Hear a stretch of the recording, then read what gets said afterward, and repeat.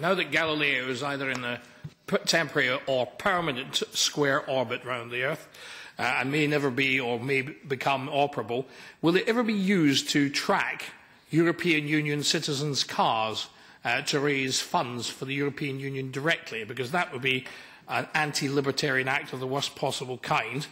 Uh, secondly, Senor Feroci, um, you have a background uh, in the Italian foreign ministry. Uh, how does that in any way qualify you to discuss industry or competitiveness? Uh, should this not be something for a businessman to be doing? I, I speak as a businessman of many years standing. The question raised by the Mr.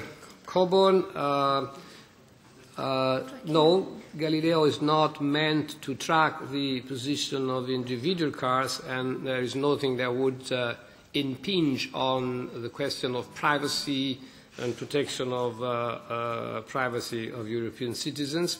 As far as I'm concerned, yes, I am a diplomat. Uh, I'm not to be ashamed of this, but I've been working in this uh, context of European Union as, for five years as a permanent representative of Italy. I don't pretend to be the best uh, Uh, uh, to, to, to represent the interests of industry. I'm doing my best to do this job in the best possible manner.